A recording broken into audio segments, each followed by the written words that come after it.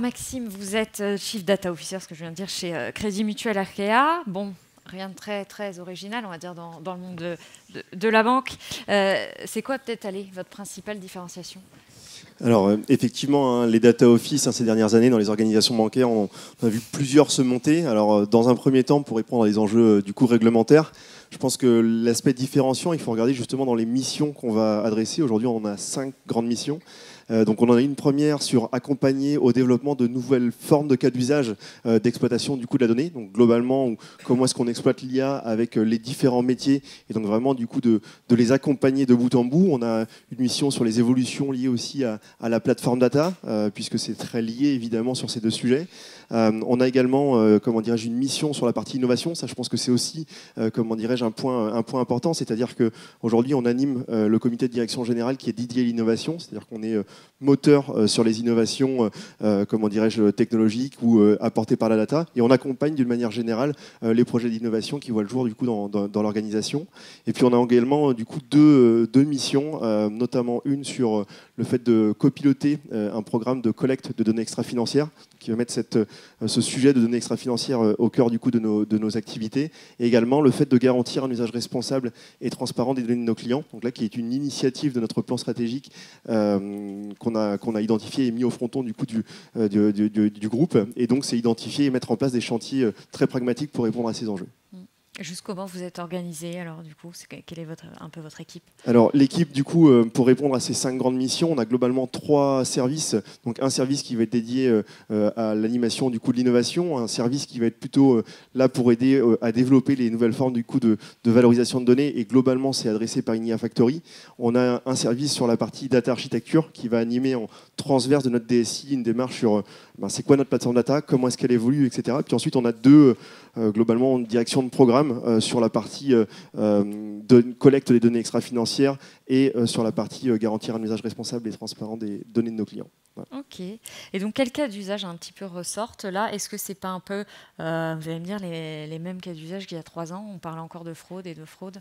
Alors, Effectivement, on parle encore de, de fraude, de lutte contre le blanchiment et financement du terrorisme. Et au final, on en parle toujours parce que ce sont des problématiques eh ben, qui, ont toujours besoin euh, de cette exploitation de données et on voit bien que bah, de par les typologies de fraude, de par euh, l'adaptation aussi euh, du coup des fraudeurs, il est toujours important de continuer à travailler sur ces sujets-là, donc qui sont une source importante effectivement de, de, sujets et de formes de valorisation de données. Euh, donc euh, ces, sujets-là continuent, ils vont vraiment gagner en maturité. Et à, côté de ça, en fait, on a quand même aujourd'hui beaucoup de sujets, et c'est pour ça aussi que euh, l'innovation est toujours rattachée du côté ces structures, c'est-à-dire que la donnée est toujours un vecteur de création de nouveaux produits, de nouveaux services. Et globalement, la façon dont on organise un petit peu ces cas d'usage, on va avoir les cas d'usage qu'on va appeler plutôt sur la partie opération, cœur business, donc effectivement sur la partie fraude, conformité, ou alors sur l'IA et la valorisation de la donnée au service de nos fonctions support. On a aussi beaucoup de sujets sur euh, l'IA pour nous aider dans le pilotage de notre système d'information ou l'IA au service des ressources humaines. Et puis après, il y a évidemment toute la partie euh, peut-être plus visible de l'iceberg sur la partie, euh, comment dirais-je, nouvelle forme de valorisation de données pour imaginer des nouveaux produits, des nouveaux services.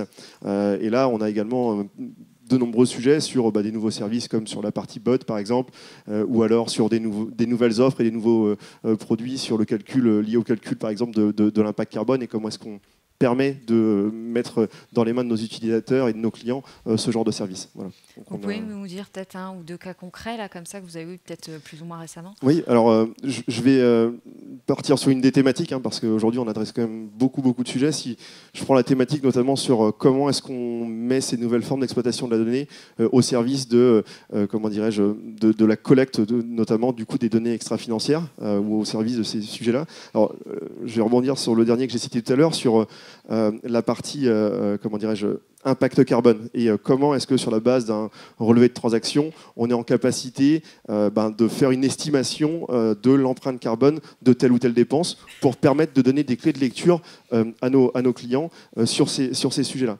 et eh bien, au final, donc, on, a, on a travaillé ça avec une de, nos filiales. On l'a pensé aussi pour qu'elle puisse être déployée via plusieurs de nos distributeurs. Donc ça, c'est aussi un point, un point qui est important. Et autre point qui est important, et du coup sur lequel je souhaite revenir sur ce cas d'usage-là, c'est qu'on est toujours dans une logique aussi de make or buy, ou j'ai envie de dire même hors partnership.